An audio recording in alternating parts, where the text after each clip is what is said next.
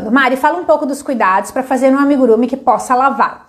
Então, um dos cuidados, o primeiro cuidado para fazer um amigurumi que possa lavar é escolher um material de boa qualidade, um material que não vá manchar. Se tu tá usando mais de uma cor, vai lavar, as peças estão todas juntinhas. Se não for um material de qualidade, se for um fio que solta tinta, vai manchar e aí já era a tua peça, tá?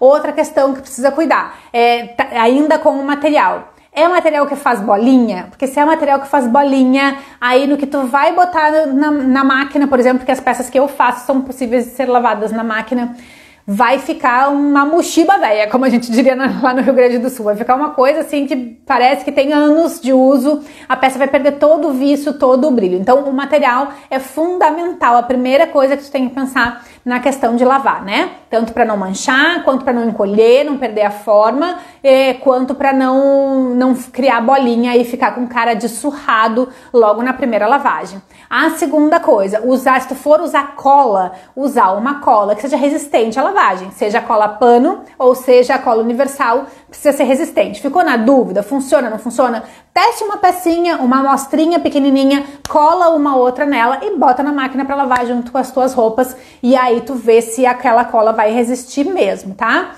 Outra questão, os cabelos, se for fazer bonecas, os cabelos não podem ser é, de um fio que também vá se desmanchar, tem que cuidar com isso. O penteado tem que ser um penteado que seja firme, por exemplo, a princesa, tá? A princesa Rose, ela tem um cabelo que não é muito amigável para lavar porque ela tem um penteado todo ali do lado, assim, e que não é recomendável fazer lavagem de máquina, tá? Eu não lavaria ela na máquina. Dá para lavar a mão direitinho, numa bacia e tal, com cuidado. Ela lava super bem, porque afinal de contas o fio é um fio, é um.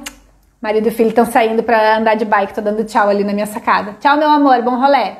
Então é um fio que é feito para roupa, né? Então ele é lavável sim, mas o penteado dela não resiste à lavagem. Já a Vera dá para botar na máquina de boa, porque esse penteado lindo não vai desmanchar. Ele é tecido, tá? Ele é tecido é, a crochê.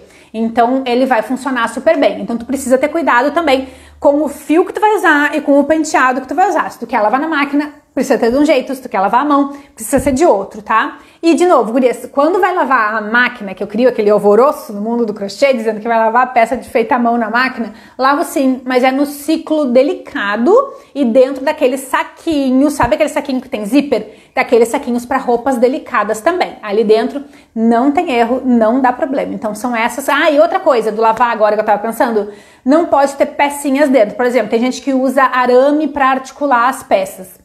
Não funciona, tá? Lavar com um arame não dá bom.